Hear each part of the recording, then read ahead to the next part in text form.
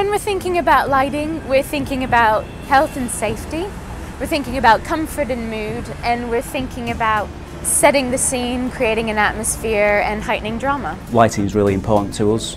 There's lots of benefits to it. It's not, it's not just being more energy efficient, it's the carbon reduction, it's being a good neighbour, and obviously significant cost reductions for us as well. It allows us to set uh, out the output of the light, we can set scenes, um, we can get reports on faults, um, lamp failures and ballast failures. Um, basically we were given a target of 33% energy savings over the entire site. Um, we've achieved virtually 78%. With these new lamps, it's just a flick of a switch, instant light, good crisp white light. It's a very clever fitting that has uh, a lens on it that directs the light in a, in a linear strip uh, along a walkway. 200 metres of these lighting was installed in just 50 minutes.